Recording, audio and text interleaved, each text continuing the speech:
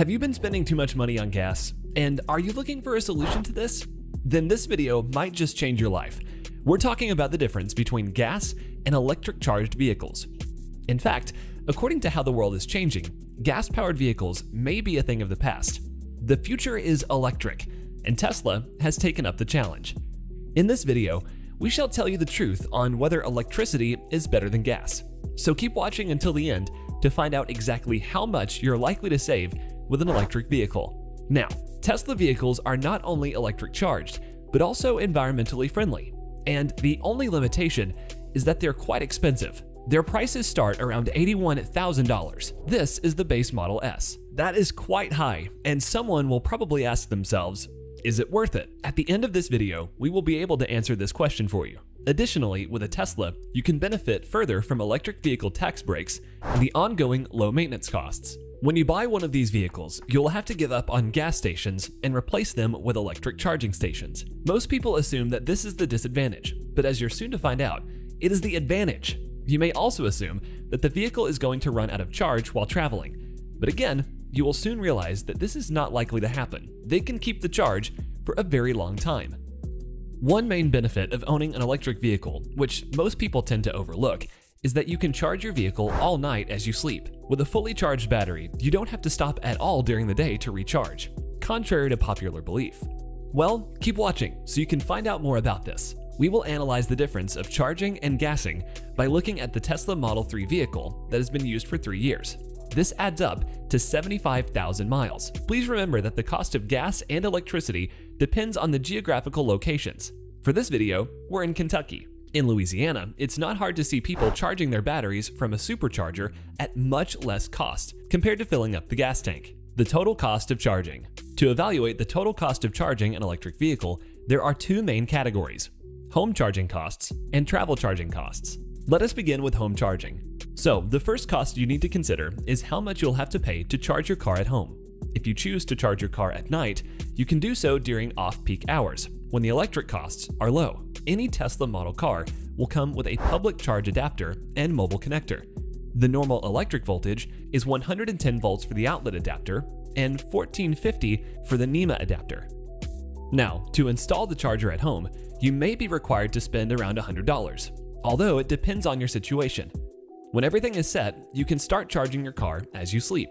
What is the power cost after 75,000 miles? At the end of the 75,000 miles, the expected amount of power you will have spent adds up to 18,656 kilowatt hours, or kWh. As we mentioned earlier, this is over a period of three years. One point to note is that once you have filled the gas, it will stay in the tank until you use it. With Tesla, not all the power makes it into the battery because heat and many other factors will sometimes nibble the flow of electricity flowing into the battery. After charging is complete, the total amount of electricity you will have on your battery is called walls to wheels. While it's difficult to identify the exact amount, the TeslaFi app makes it easy for you by keeping track of all of the stats of your car.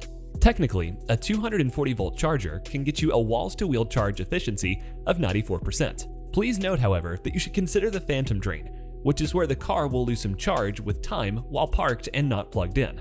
The app calculates that the phantom drain is around 0.3 miles each hour, and after consideration, the assumption is that the walls to wheel efficiency is around 90%. This, therefore, means that the total kilowatt hours from the power grid are approximately 20,728. Now on to travel charging. The best guess with travel charging is around 2,000 miles each year. This is approximately 8% of the total traveling miles, and the other 92% is from home charging. You should also factor in the free charging from several travel destinations. Yet another advantage that gas car owners don't get, as there are no free gas stations. Total traveling cost. If you can spend only $54 on supercharging, as we mentioned earlier, it means you will have spent $54 for three years, which is what we're considering for this analysis. This is, therefore, 8% of the charging. The rest we charge at home. Tesla has a referral program that can earn you a thousand free supercharging miles whenever you refer someone. Now, before we proceed with actual savings, if you haven't already, please leave a like for this video by clicking the thumbs up button. And if you haven't subscribed already, kindly subscribe and turn on the notification bell so you can be notified whenever we put out a new video. If, for example, you have a referral system that is able to reach around 1,400 people, such as a YouTube page, then this is equal to 1.7 free million miles for supercharging. Additionally, if the electricity rate is around 7 cents, this will be the equivalent of approximately $1,350 of home charging. Add the $54 to this, and the total so far will be $1,404 in total. This could, however, be different if you have to set up a unique charging system in your home. So after 75,000 miles, you will have spent $1,404 charging your Tesla. Charging versus gas at 75,000 miles. For comparison purposes, we will use the BMW 2018 3 Series that averages approximately 28 miles per gallon, and the Tesla Model 3. The BMW requires regular gasoline that costs on average $3.47 per gallon in Kentucky. To drive the BMW, the same number of miles would cost about $9,353, which is almost $8,000 more than the Tesla. So in the end, you can see that Tesla is cheaper and will cost less in terms of charging. You're probably shocked. Yes, with an EV vehicle, you will potentially save $8,000 in a period of three years. Is there any way that EVs can be more expensive? Some people who are misinformed say that EVs are more expensive than gas cars. Well, this is not likely to be true, unless you're using expensive fast charging exclusively, and if you do it in an area where the electricity is very expensive. In reality, it is highly unlikely for an EV vehicle to be more expensive than a gas car in terms of fuel.